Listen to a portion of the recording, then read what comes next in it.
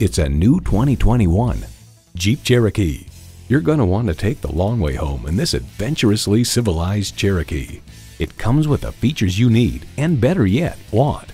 Inline four-cylinder engine, heated steering wheel, streaming audio, rear parking sensors, front heated bucket seats, remote engine start, AM FM satellite radio, active grille shutters, doors and push button start proximity key, and automatic transmission.